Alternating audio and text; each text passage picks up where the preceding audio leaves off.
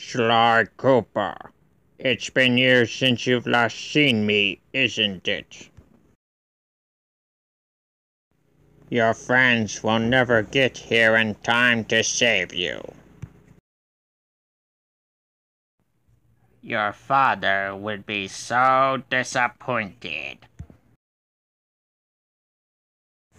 Now, meet my own troop of friends.